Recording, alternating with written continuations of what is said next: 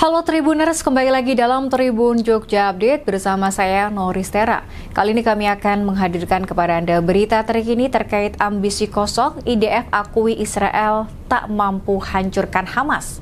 Juru bicara Tentara Pendudukan Israel atau IDF, Daniel Hagari, mengkritik pemerintah Israel tentang ambisi negaranya menghancurkan gerakan perlawanan Palestina Hamas. Kepada channel 13 Israel, Daniel Hagari mengatakan Hamas tidak bisa dihilangkan karena hal itu sama saja seperti membuang abu ke mata Israel.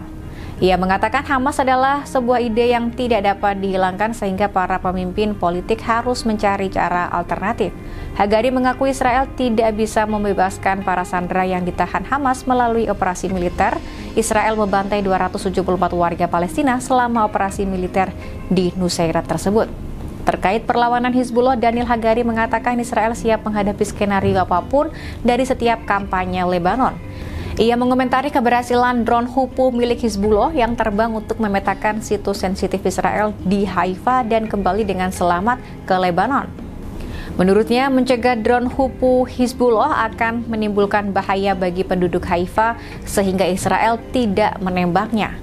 Perdana Menteri Israel Benjamin Netanyahu Salah satu tujuan perang adalah menghancurkan kemampuan militer dan politik Hamas dan tentara Israel berkomitmen untuk itu. Menteri Pertahanan Israel Yoav Galan menanyakan strategi yang jelas kepada Netanyahu. Ia tidak menyetujui militer Israel menjalankan jalur Gaza. Demikian berita terkini terkait ambisi kosong IDF akui Israel tak mampu hancurkan Hamas. Ikuti terus berita-berita terkini hanya di Tribun Jogja Update. Saya Nori Serah dan segenap kru yang bertugas pamit undur diri. Terima kasih dan sampai jumpa.